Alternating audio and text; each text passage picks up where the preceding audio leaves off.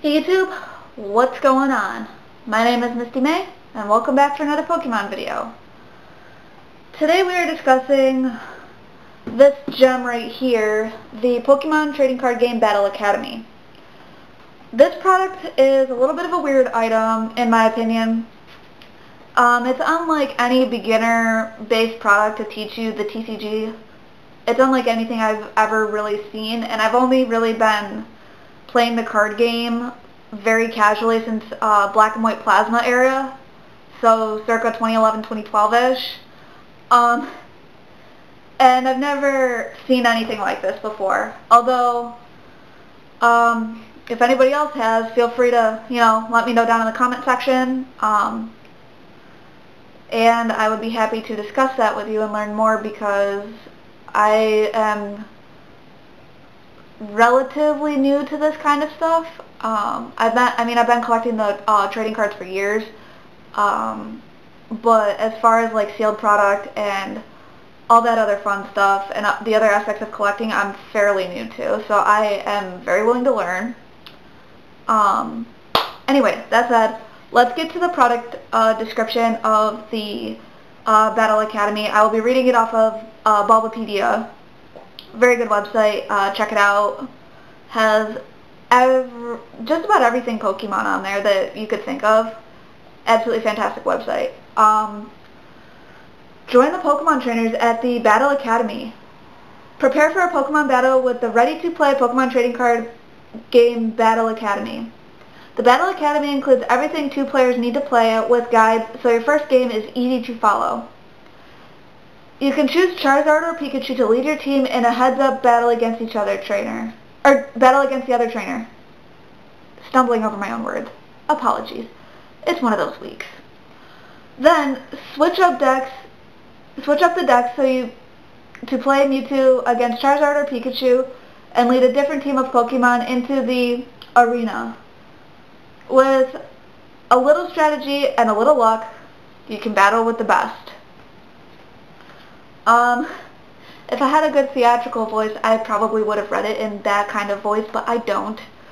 Um, this product is very interesting, and it, it, it caught my eye because I know that it's based off of the Family Pokemon card game that was released in Japan in March of last year, um, which has some of the cards uh, some of the cards from those decks were actually reprinted in our Hidden Fate set back in September, August, whenever Hidden Fates came out. Um, yeah, so those cards were printed, reprinted uh, in our Hidden Fate set a while later. Um, I'm still a little bit uh, befuddled as to why there was such a large gap between uh, GX Ultra Shiny and our Hidden Fates. Um, but that's neither here nor there. That's not what this video is about. This video is about this gem. Um, there's the back of the box, the side, front again, other side. Um, as you can see, the plastic on here is very, very nice. Um, it is going to be in my sealed product collection. Um, I'd like to try to get another one. Uh, I only paid like $21 for this, which I was really surprised about. Um, so for that alone, heck yeah, it's going to go in my sealed collection. But I almost would like another copy of it to open and to kind of just uh, take the little booklets and the guides and stuff out.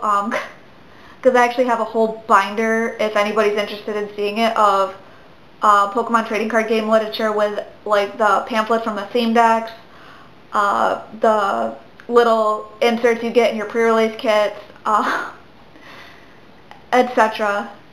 I can show it sometime if you guys are interested. Just let me know in the comment section uh, what you guys want to see. Um, and we'll go from there. So, uh, let me real quick just read uh, the information on the Family Pokemon card game. It's essentially the same thing. It was just released a little, these two products were just released a little over a year apart. Um, I'd like to maybe someday get my hands on the Japanese one, um, just to say I have it. Um, and just because it, it's a cool item, um, I think. So, real quick, let me just read the description off of Bulbapedia, or the information. Alright. The Family Pokemon card game is set is marketed at children and their families, introducing them to the basics of the TCG with inclusion of step-by-step -step guides and an assortment of new Pokemon cards with relatively simple attacks. Each set includes three standard decks focusing on the mouse Pokemon Raichu, in my opinion, the best Pokemon of them all. Give Raichu a little bit of love for me. The flame Pokemon Charizard, and the genetic Pokemon Mewtwo. Each deck focuses on two types and includes Pokemon GX cards representing each one, one of which fe features the focal Pokemon of that deck. The decks share a collective numbering system and set symbol. Each card also features a colored silhouette of the appropriate focal Pokemon to denote which deck it belongs to. This set also comes with uh, uh, two battle guides, a beginner's guide, a playmat, three color-coded deck bands to secure each deck, a set of 45 damage counters with three different damage values, two status markers, two GX markers, a large cardboard coin, and a deck box for storage. So I can link these video or these pages in the description when I edit the video tonight. Um, if you guys want to check the page out, because uh, of course I stumbled over my own words quite a bit. I have slight difficulty reading off a screen unless I'm squinting right at it. Probably ought to get my eyes checked. But um, there's not a whole lot of difference between the two products other than I'm looking at the deck list right now and the English one that we have does not have, um, does not focus on two different types. They're uh, one type only, um, which is fine. I mean, we got like the Charizard GX, the Raichu GX, and the uh, Mewtwo GX um, in Hidden Fates, along with the Pinsir GX, the Gyarados GX, uh, the Wigglytuff GX, and I believe that it, those are all of the um, the family uh, Pokemon card game GXs that we got reprinted in our Hidden Fate set. I still have yet to pull the regular Art Raichu one from that set. Although at this point I might as well just buy it. Um, I don't know. But anyway, that is that product. Um, I just wanted to do a little video because I figure, I don't know, discuss a little something in my collection. Um, it was a little difficult trying to figure out what to say, how to present the product, so I apologize if this video was a little bit awkward. Um, I will try to improve and become less awkward and camera shy as time goes on. Um, and that be that. Um, if you guys like uh, like this kind of content, smash the like button and subscribe to this channel. I upload twice a week.